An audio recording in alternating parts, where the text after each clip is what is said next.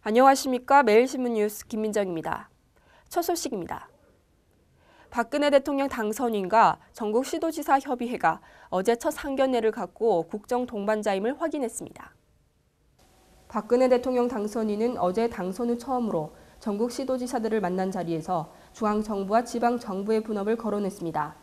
박 당선인은 이날 통이동 집무실에서 시도지사 16명과 전국광역시 도지사 간담회를 열어 지방에서 잘할 수 있는 일은 굳이 중앙에서 할 필요가 없다고 밝혔습니다.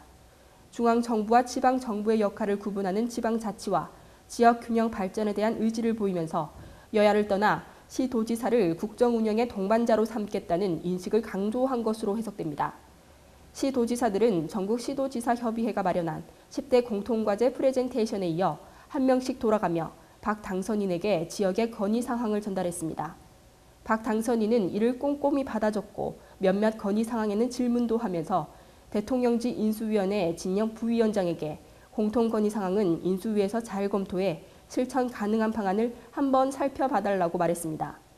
간담회는 오후 2시부터 약 1시간가량 진행됐으며 참석자가 많고 시간 제한 때문에 동남권 신공항과 해양수산부 청사 입지, 지역 공약 재원 마련 등 민감한 이슈는 다뤄지지 않았습니다.